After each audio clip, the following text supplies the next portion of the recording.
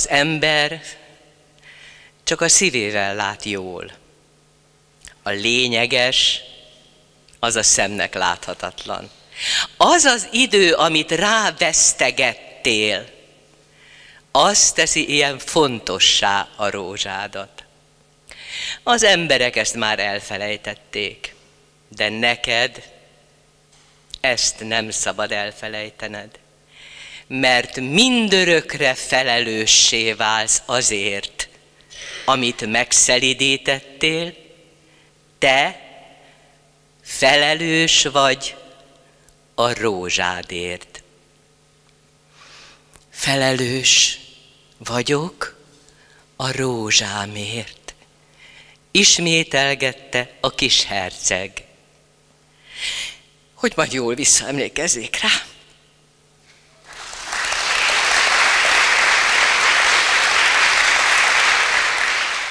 Pilinszki János azt írja egy helyen, hogy a munka és a szeretet szorosan összetartozó dolgok, és ebből szerinte az következik, hogy a munka az önzetlenség iskolája.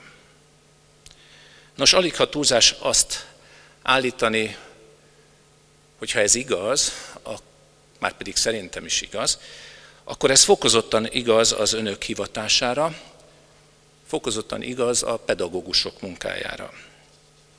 Hiszen mindenki, aki másik, egy más ember gyermekéért, annak jövőjéért, boldogulásáért, és hát tegyük hozzá, ezáltal a nemzet jövőjéért és boldogulásáért dolgozik. Mindezt úgy teszi, hogy szinte szem elől téveszti önmagát, saját érdekeit, és ezáltal többszörösen önfeláldozó. A Virág Benedek díj kitüntetettjei, akár idén, akár korábbi években, az ő személyiségük, életpályájuk, és mondhatnám úgy is, hogy általában a pedagógus hivatás és a gyermekszeretet melletti tanúságtételünk segít megfejteni azt a titkot, hogy az önzetlenséggel szöges ellentétben álló, mondhatnám így is, hogy piaci alapon működő korunkban miért vannak még mindig jól működő iskolák? Szilárd Leo mondta egy alkalommal, hogy azt hiszem, a legtöbb gyerek kíváncsian kutakodó fejjel jön a világra. Talán azért lettem tudós, mert valamilyen értelemben gyermek tudtam maradni. Ez is egy örök gondolat, sokan megfogalmazták ezt már, de azt gondolom, hogy azért is aktuális, mert ez elmondható arról a két pedagógusról is, akik a képviseltestet döntése értelmében idén átvehetik a Virág Benedek díjat.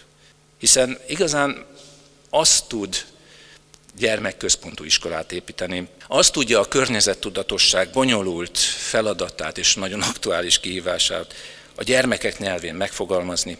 Azt képes igazán a gyermekek lelkéig elérő, a vizsgák sikerét elősegítő jó tanácsot adni, felkészítő tanárként, aki életkora tapasztalata mellett képes arra, hogy a gyermek szemével lássa a világot.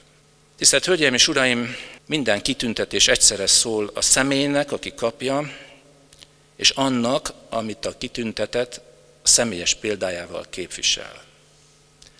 A Virág Benedek díj átadásával ennek megfelelően ma ugyan két pedagógus munkát ismerjük el, ugyanakkor kifejezzük tiszteltünket mindannyiuk előtt, akik tudásuk, tapasztalatuk átadásával, idejük és fáradtságukat nem kimélve gyermekeink boldogulását elősegítik. A 2016-os évi Virágbenedek díjat a Budavári Önkormányzat képviselőtestülete Szakács Ágnes, a Budapest első kerületi Battyányi Lajos általános iskola intézményvezetőjének adományozza. Kérem Szakács Ágnes, fáradjon ki és vegye át a díjat.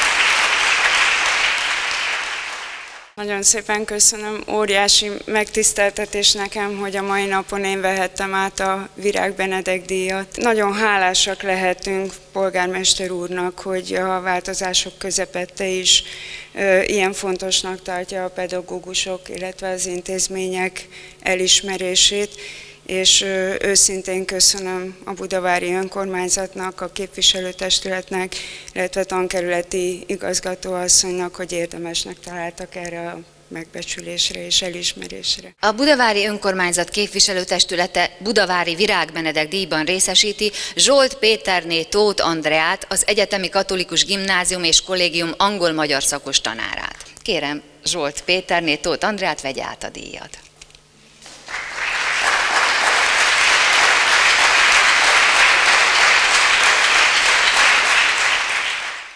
Számomra is nagyon nagy megtiszteltetés, hogy ezt a díjat itt átvehetem, és nagyon nagy meglepetés volt. Ö, otthon gondolkodtam azon, hogy egy pár bölcs mondatot mondjak itt, de mint a kisördő, ugye a lakásban eltűnt az összes olyan könyv, amit föllapozhattam volna, hogy valami bölcs gondolatot kiszedjek belőle, és akkor itt ültem, ültem, gondolkodtam, és azon filozofálgattam, hogy olyan ez az élet, hogy ugye kapunk egy nagy adag lisztet, éle, élesztőt, hozzá egy kis sót, akkor hozzáteszünk még egy-két alkotórészt, és akkor elkezdjük dagasztani ezt a tésztát.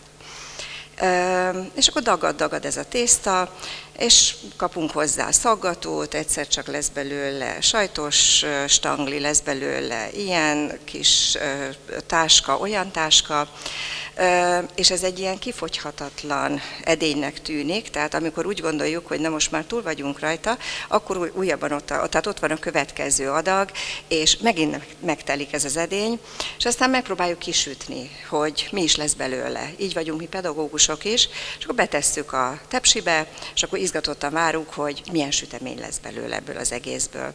És aztán az ember gondolkodik rajta, hogy igazából ki az, aki vezérli a kezünket.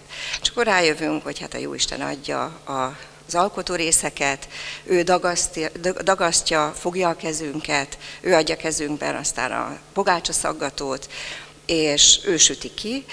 Lesz benne olyan is, ami nagyon finom és ehető, és lesz benne olyan is, ami egy kicsikét éget. De hálásak vagyunk az utolsó morzsáért is, és utána megint hálásak vagyunk azért, hogy megtelik újra ez az edény, hiszen van dolgunk, és még az éget morzsáért is nagyon köszönettel és hálával tartozunk.